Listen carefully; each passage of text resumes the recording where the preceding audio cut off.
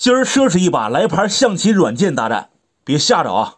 本盘棋由包罗万象和不知其趣合伙点播啊，他是这么说的：发生在二零二一年或者二二年，不确定。红方叫江湖八饮，一百二十八盒；黑方叫啥名，还有多少盒不清楚。比赛开始，方便的话对着屏幕杵两下。当头炮，马来跳，红挺兵控马，对手平炮，上马出车，两头蛇。中炮对三步虎，黑方这边送卒，拱过来进车抓，红方不给再冲一下，平车抓兵抓象，红方平炮视角，意思是说你随便吃，吃兵红旗就上马，对手选择砍象了，红方呢一通小连招，首先平炮打黑方底象，抽车啊不管不行，上马。红方马退窝心来一脚，黑方还有一个点，上边马还有炮呢，也是有根。黑方继续躲，红方顺势马九进七，这就是弃象之后的一个补偿吧，让对手一子多动，红方好出子嘛。比赛继续，黑方补象，红方炮后藏车，因为红方有窝心马的，早晚得跳。你要不平车直接跳的话，黑方始终有一个背后掏，先平车合理。黑方补士，红向下冲撞炮。黑方的炮咋定位呢？如果说这样啊，打中兵，炮阵无子，红方可以跳出窝心马，也可以平炮，用马来登车，他没什么太好的点。你放在边路不行吗？红方打卒了，吃双车，那这两个点是去不了了。往后来一步，红方跳出窝心马，又是打车，等车一躲，红方接着跳，这多亏呀！临场黑方退了一步，不让这个兵靠过来，再拱一下前进。红方这兵是有根的，他做了一下预判，把中炮拆了。开始设计飞刀了啊！黑方车平四亮出来，站肋。红进炮到下二路。现在这个兵啊，可以横着走了，到时候黑方车难受啊。先抬起来，这也没法捉马，放在齐河。红方继续往右侧调动子弟，这还是先手踩车呢。黑方呢退两步。红方左翼有车马兵，马挡住了车。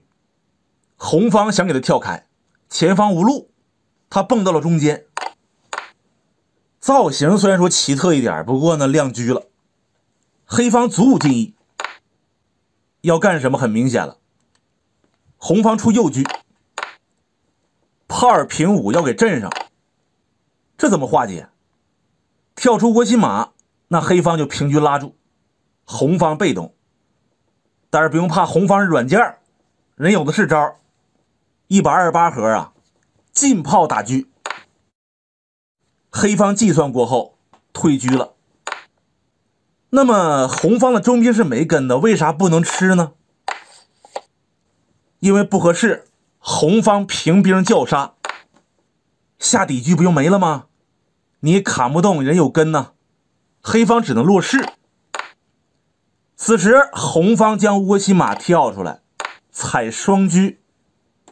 黑方有两种选择，反正都是平车。先看这个，红方中路的马动不了，被炮锁死了。那对子呢？这回能动了。你吃炮，我踩车。他如果进车别马腿红方干掉中炮一将，黑方踩了，再把他撤回来打车。这个一动，那个就没啊。红方占优了，咱们看下一种变化。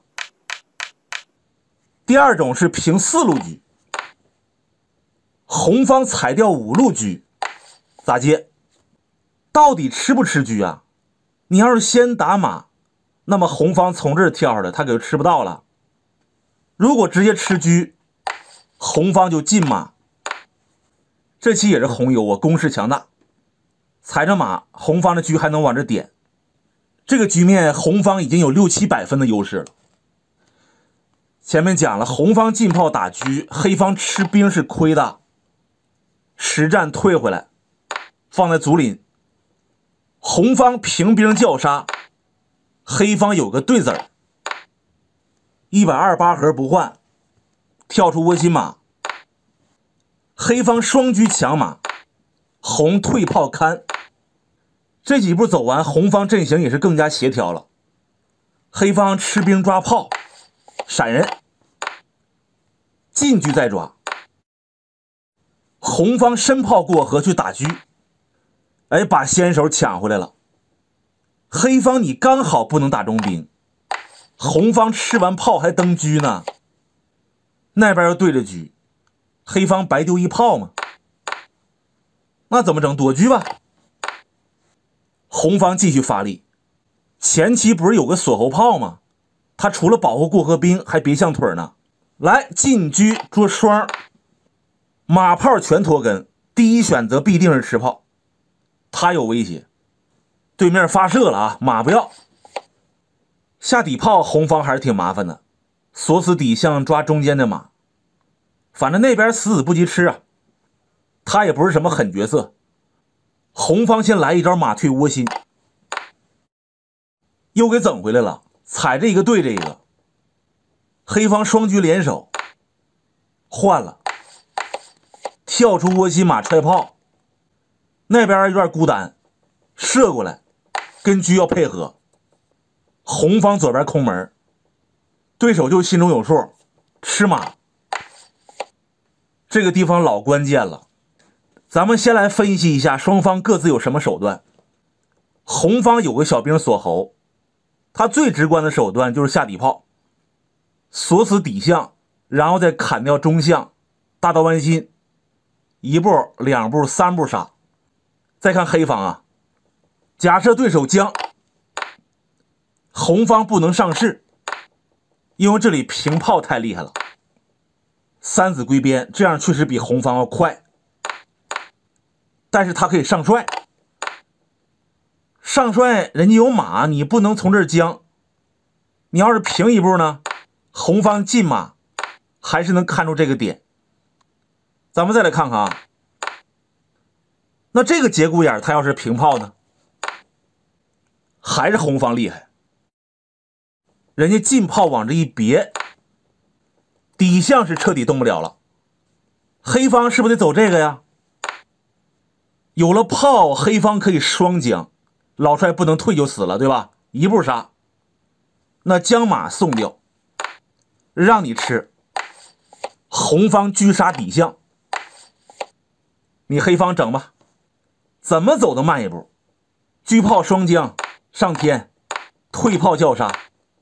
不好意思，红方先出手了，小刀弯心，底士跟老将不能吃兵，只能出将，绝杀了。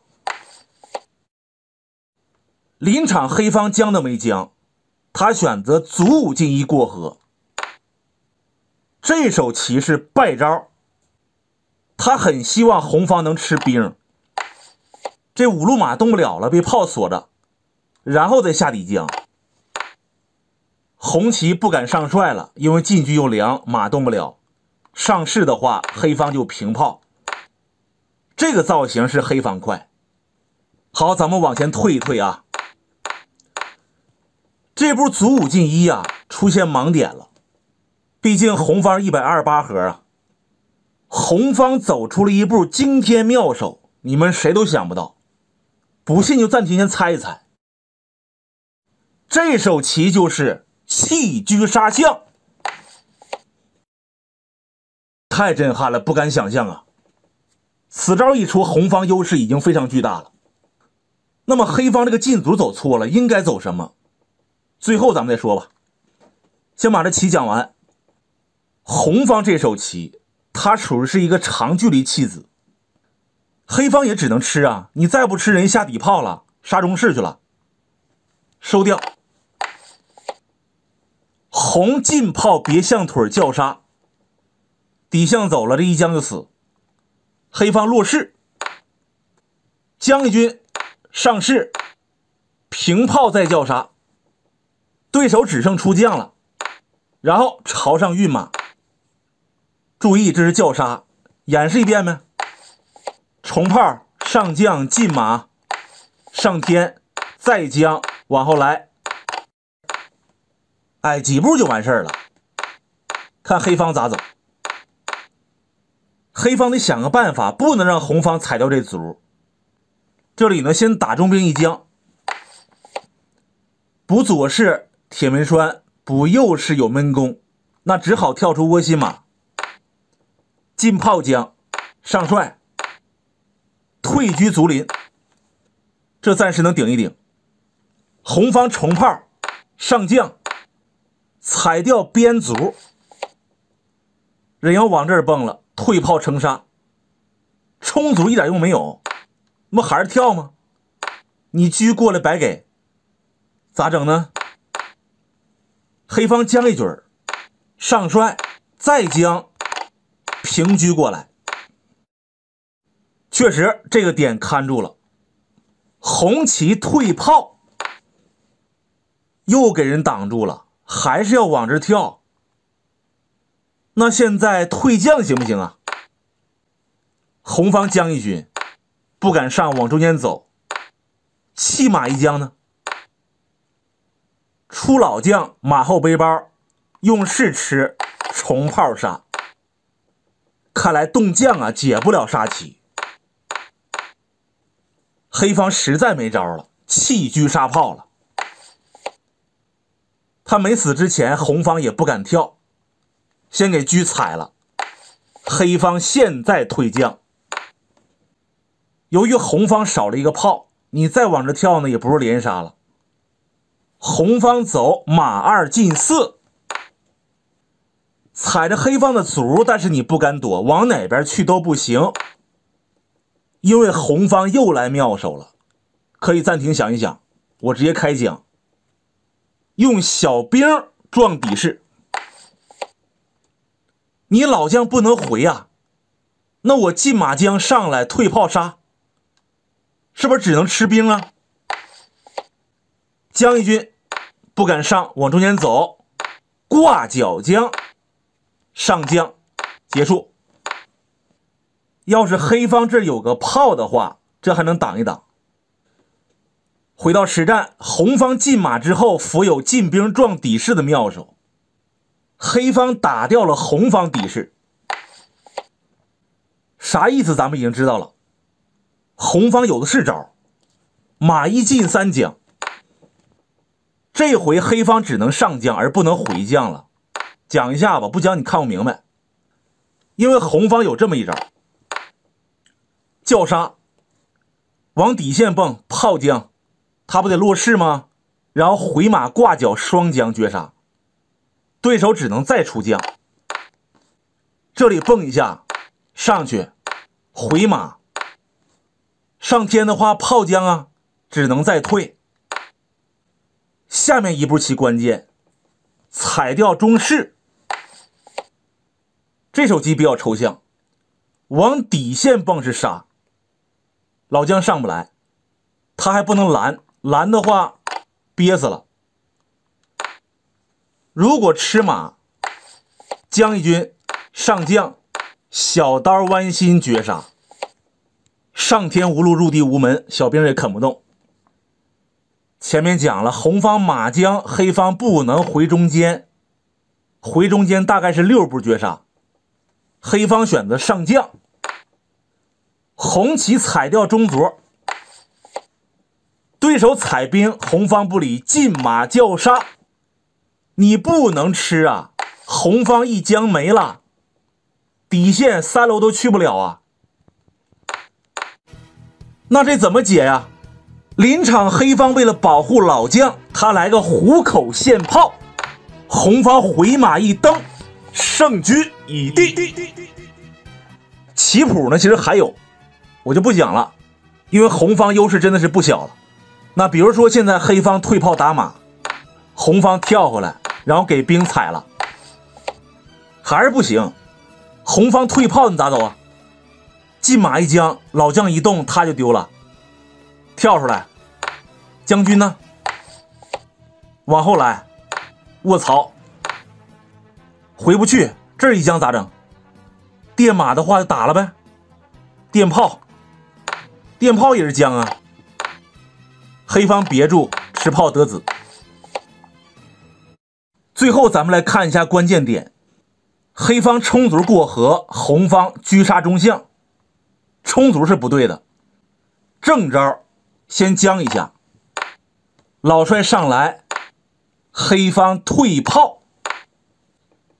这步首先你砍象就不成立了，那飞了，然后你走这个下底炮叫杀，那我这双将啊，你这马踩不了，炮也在将，只能退。我平车一抓后炮，这红方就废了，对吧？这是退炮的好处。那比如说现在红方下底炮，准备用车呢来白砍中象，砍完中象砍中士。由于黑方的炮在二楼，那也是完全不同的局面。黑方可以直接甩过来，哎，叫杀了。由于有炮在这儿，他可以用车来起手，将一军往后来，然后进炮再进炮，出老帅不行。那将一军上天了，平车一抓马，左右夹击，黑方厉害。这棋估计红方得送马。让老帅能上三楼，那就别砍马了，因为红方杀中象更快。最好是先将红方退到底线吧，因为这个棋啊，它三楼始终有位置，你砍马这不是叫杀，红方就杀象，你弄不死。炮将他上帅，车将他上天，红方更快一步。这里还是稳一点，马一进三，踩着兵保护中象。红方也没啥棋了，他可能得退炮保马了。双方继续纠缠吧，超级复杂这个棋，就这么个情况。我是四郎，咱们下期见。